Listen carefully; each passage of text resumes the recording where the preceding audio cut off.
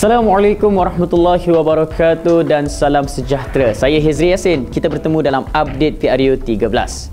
Gelombang Kebangkitan Rakyat Sabah semakin ketara berikutan kira-kira 2,000 orang masyarakat murut di negeri itu menyatakan sokongan kepada Pakatan Rakyat apabila menyertai PKR ketika kunjungan Datuk Seri Anwar Ibrahim ke Beaufort.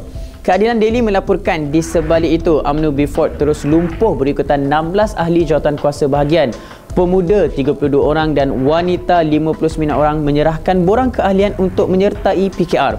Selain AMNO, parti komponen BN, MCA juga menerima nasib yang sama apabila 23 pemimpin dan ahli mereka meninggalkan parti berkenaan. Mereka menyerahkan borang keahlian itu kepada Anwar dan calon PKR di Parlimen P177 Beaufort, Datuk Seri Lajim Ukin pada program di pekarangan rumahnya yang dihadiri ribuan rakyat. PAS kawasan Batu Gajah membuat laporan polis berhubung tiga billboard kempen yang dipasang telah dibakar dipercayai perbuatan khianat pihak-pihak tertentu. Menurut naib yang dipertua PAS kawasan Batu Gajah, Rosdi Abdullah, ketiga-tiga billboard tersebut yang dinaikkan di Taman Tasik Permai berhampiran rumah calon BN disedari terbakar kira-kira jam 5 pagi.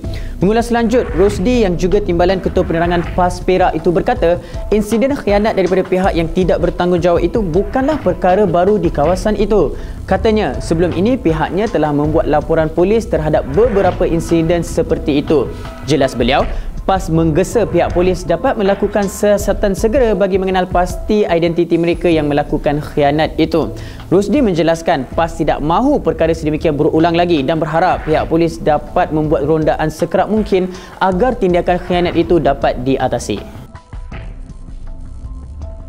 Sekian saja daripada update PRU 13 dan akan kami bawakan lagi info-info lanjut. Teruskan bersama kami. Kami melaporkan daripada perspektif sebenar.